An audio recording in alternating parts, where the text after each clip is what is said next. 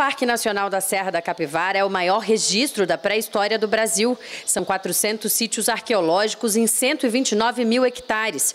O território entre as serras, vales e planície no meio da Caatinga é tão rico que ganhou da Unesco o título de Patrimônio Mundial. O Parque Nacional da Serra da Capivara tem a maior concentração de sítios arqueológicos das Américas.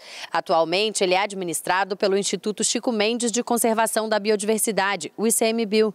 Mas a gestão vai passar a ser compartilhada. A ideia é melhorar os mecanismos de conservação e divulgação desse patrimônio cultural. Para isso, foi assinado um termo de cooperação que oficializa o compartilhamento do parque.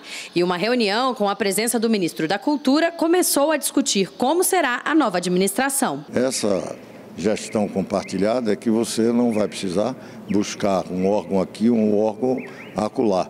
Você vai ter uma gestão que tem todos esses órgãos responsáveis pelo é, Parque da Capivara aqui presentes e sabendo das necessidades e atuando para enfrentá-las. O ministro da Cultura também visitou o Museu do Homem Americano, no município piauiense de São Raimundo Nonato. As peças mostram a importância do patrimônio cultural deixado pelos povos pré-históricos.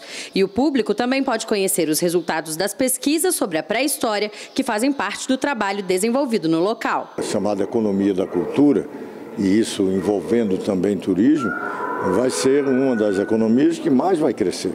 É, nós estamos vivendo um mundo aí é, que está superando a chamada sociedade industrial, em que toda essa atividade lúdica, do lazer, a atividade cultural vai ter uma proeminência e, nesse sentido, um sítio como esse é, evidentemente, um destino importante para essa economia.